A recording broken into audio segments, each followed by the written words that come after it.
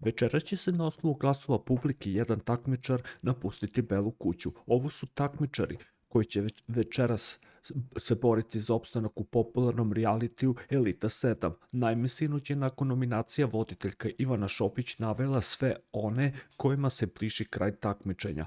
Odabrani su nominovali Uroša Stanić i Ivana Marinkovića, on je opet nominovan, rekla je Ivana, a potom nastavila. Ugroženi takmičari od strane publike su Pablo, Sara Sloba, a i Luka Majčica, neka im se pridruži. Aleksa je takođe ugrožen, Stefani može da ustane, dodala je Ivana, a Uroš je imao komentar u svom stilu. Neka glasuju ljudi što jače da pokažem koliko sam jak sa procentima, rekao je Uroš, a odmah potom voditeljka je sopštila ko sve ide u izolaciju. Zajedno u izolaciju idu Sloba i Pablo jer imaju isti broj glasova zajedno sa Ivanom, Urošem i Teodorom, saopštila je Ivana.